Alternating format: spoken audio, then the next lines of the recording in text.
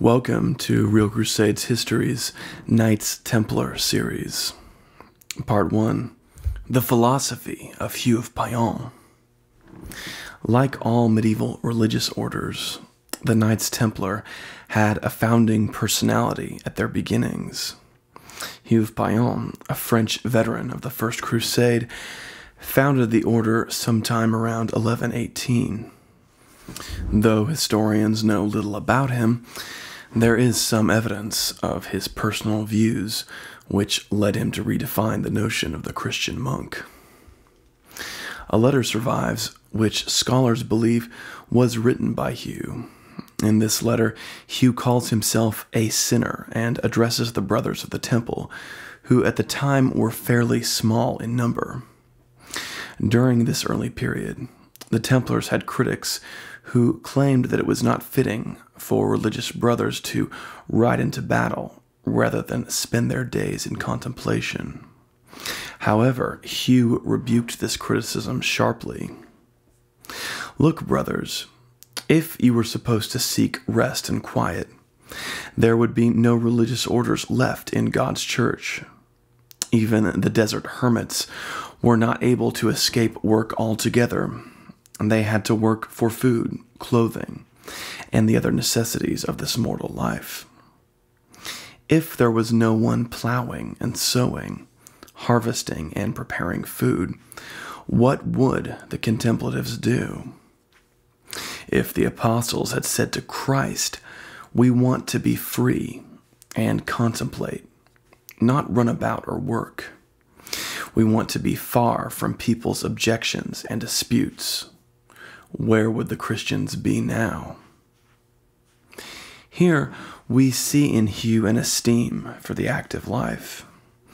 He extended this understanding that without physical labor, Christian civilization would be impossible to the notion that Christians must win political power and military strength to preserve and expand their societies.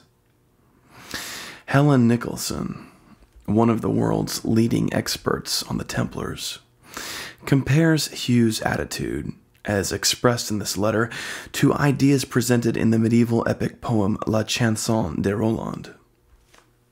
The archbishop said, watching Roland cut the Muslims to pieces, You're doing well. A knight who bears arms and sits a horse ought to act like this. He should be fierce and strong in battle. Otherwise, he's not worth fourpence and should be a monk in one of those churches and pray all day for our sins. Nicholson further compares Hugh's letter to another medieval poem, La Moniage Guillaume.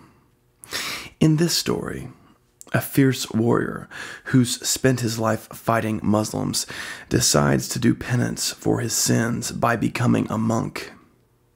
His abbot sends him on an errand and warns him that if he is attacked by bandits, he may not defend himself because monks cannot use violence. When William heard this, he was enraged.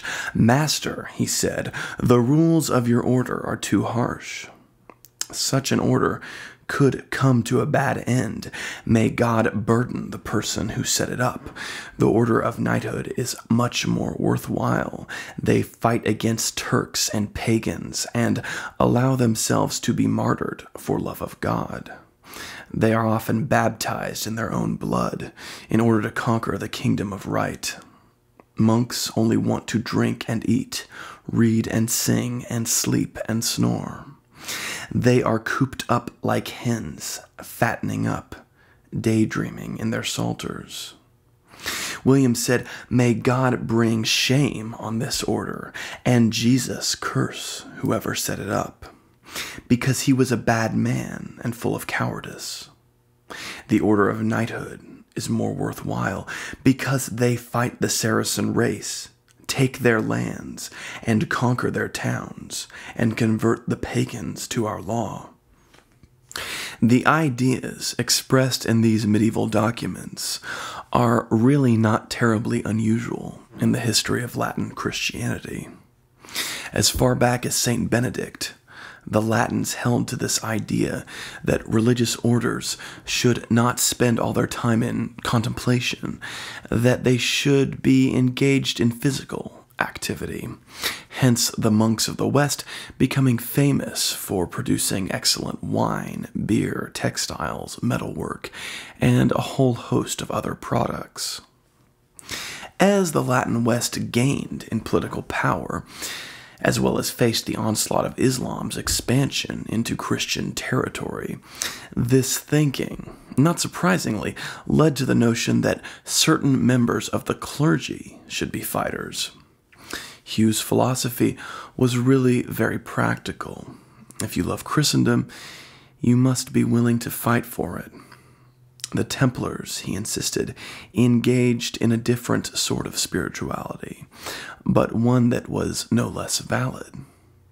Their discipline and military achievements were a gift to God for the preservation of his holy places in the temporal order.